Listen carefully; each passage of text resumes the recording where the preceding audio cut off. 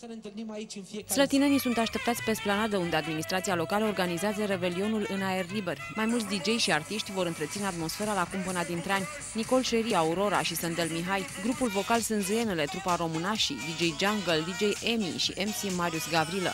Spectatorii vor putea urmări și un șoc de lasere. Primăria Slatina a pregătit pentru acest moment peste 200 de sticle de șampanie și 2000 de pahare. Noaptea dintre ani se va încheia cu un grandios foc de artificii. Polițiștii și jandarmii vor fi la datorie pentru ca petrecerile să se încheie fără evenimente nedorite aproximativ 200 de jandarmi vor fi angrenați în misiuni de asigurare și menținere a ordinii și siguranței publice, precum și de pază și protecție instituțională.